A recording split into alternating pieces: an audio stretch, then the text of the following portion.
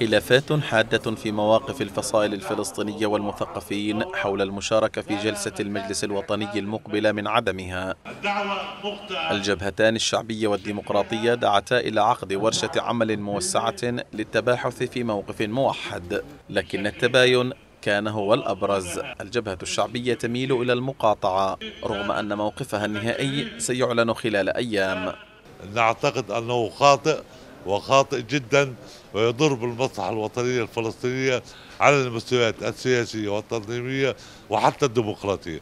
فهذه الجلسة جاءت لتكرس هيمنة أبو نحن ندعو لعقد مجلس وطني محترم توحيدي يجمع الكل بلجنة تحضيرية وتفعيل إطار القيادة الموحد حركة حماس والجهاد الإسلامي ترفضان أيضا انعقاد جلسة المجلس الوطني بالطريقة التي أعلن عنها وتعتبران ما يحدث محاولة للالتفاف على الاتفاق المتعلق بانعقاد الإطار القيادي لمنظمة التحرير ناهيك عن تضرر مشروع المصالحة. انعقاد المجلس الوطني من المفترض أن يأتي تتويجا لعملية إصلاح للمنظمة. مثل هذه الخطوة لن تكون في صالح منظمة التحرير. آه، هذه الخطوة تفقد الثقة ثقة قطاع كبير من أبناء شعبنا الفلسطيني بمنظمة التحرير. أنا أعتقد أنه ما اختاره الرئيس أبو مازن وأصر عليه ليس هو السبيل الأمثل لجمع الصف الوطني الفلسطيني ولا هذه الطريقة هي التي ستحافظ على لحمة الفلسطينيين. هذه وسيلة لتكريس الانقسام وتأبيده ربما يعني وإعطاء الفرصة للآخرين أن يتصرفوا بفردية.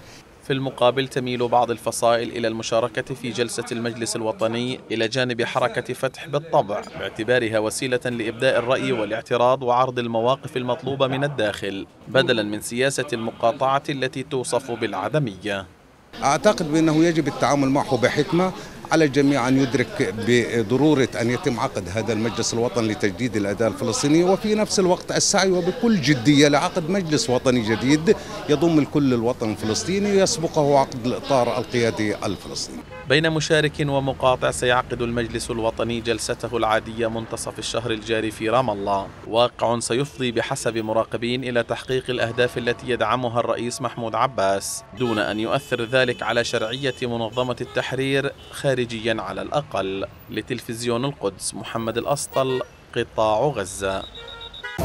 أينما أذهب عنواني يبقى دائما القدس. أنتم أيضا يمكن أن يكون لكم عنوان في القدس dot com. ادخلوا الآن إلى mail dot القدس dot com. إيميل القدس الإيميل العربي الجديد.